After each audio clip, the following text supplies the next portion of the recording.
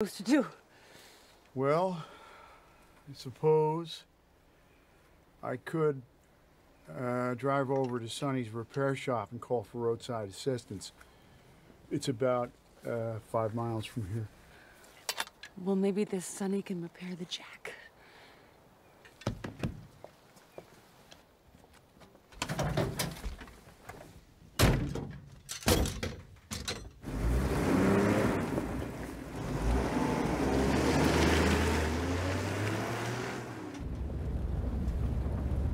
Oops.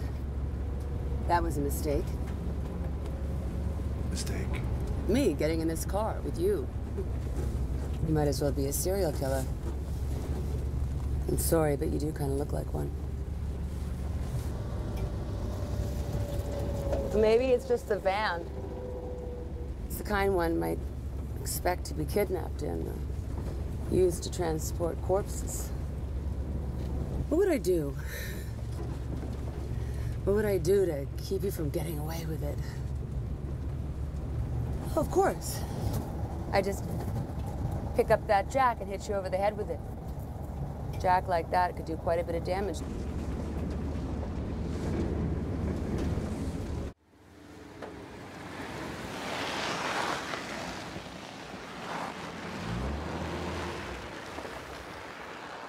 Don't forget this.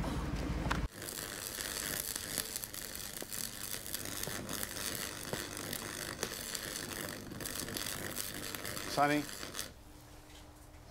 Hi, Jack. how's it going? Well, I was working on Miller's tractor, but this lady's been really persistent. You don't say.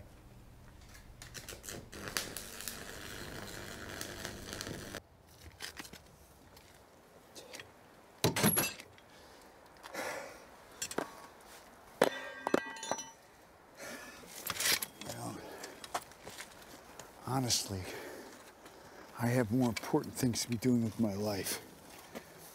Messing around with this crap. You said he was really good. Yeah, well, I'm sure Sonny was just distracted by your goddamn blabbering. Now I have to go. I have an appointment.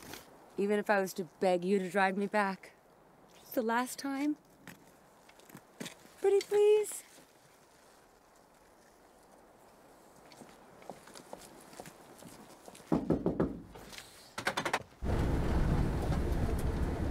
You know, I take it all back. What I said earlier about you looking like a serial killer? No, no, no. You don't have the disposition for that sort of thing. You're way too much of a wimp to murder anyone.